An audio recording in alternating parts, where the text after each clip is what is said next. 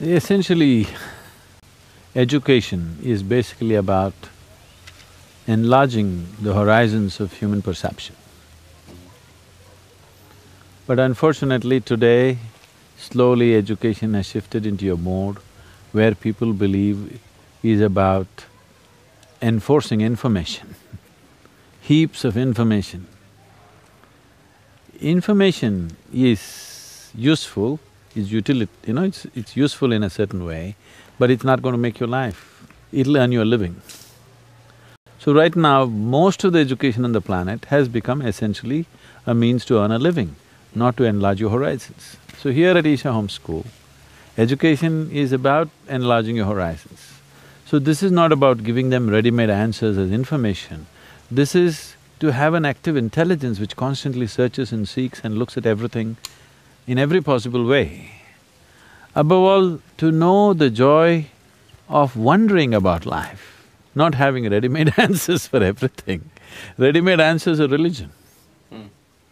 And so the question everybody's gonna ask you is, in this highly competitive world, are you saying that they'll come out non-competitive or they will have such awareness that they'll make them become even more, uh, their ability to deal with this world will be more precise? Suppose uh, you and me are walking and you're in competition with me.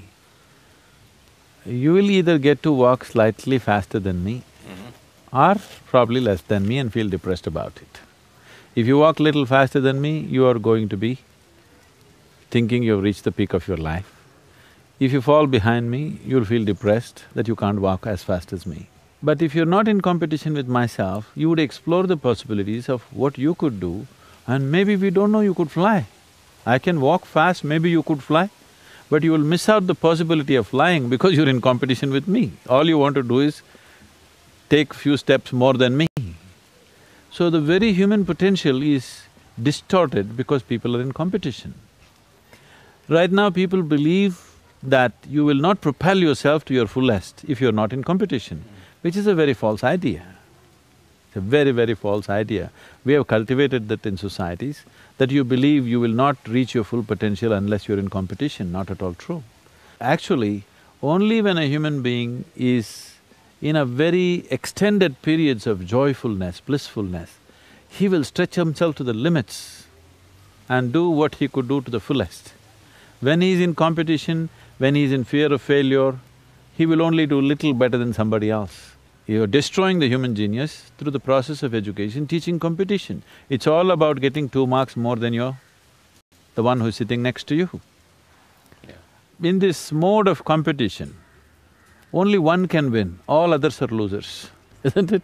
It's a horrible way to create a society. What I'm saying is the gardener in this school is as important for us as the headmistress of the school. So that's what the children are constantly perceiving. We are not saying these things as philosophies, but that's the atmosphere that is set. The one who cleans the place, one who cooks for us, is as important as the teacher who teaches you science or literature or runs the school or me who visits once in a way to give them a different perspective of the whole thing. Once you put one above the other, you are not going to know anything in this world. Your whole perspective is distorted. So that is the basis of competition, trying to put one above the other. Once you make one thing bigger than the other, one thing small, one thing big, one thing high, one thing low, one thing divine, another thing filthy, then you miss the whole point of existence. So the essence of education is to enhance your perception in such a way that you are able to perceive a blade of grass being as important as the coconut tree, is not less important. It's different, that's all. Every difference that you find in the world, if you make it into a discriminatory process, that is what you're su suffering a prejudiced world. Whether between races or, or nations or languages and cultures and even gender, every difference we have made it a discriminatory process. And that has been our mode of education also unfortunately. So here at home school, there's… what the most important part of education here is not taught. It is a constant demonstration. All the teachers are dedicated people, they're all volunteers, hugely educated, but they're all here to volunteer their full time, their life they're volunteering to make this happen for the children. So the… the key element of the school is the way everybody moves, the way everybody sits and stands and eats and does everything. Education, you have to follow some system, we are following ICSE.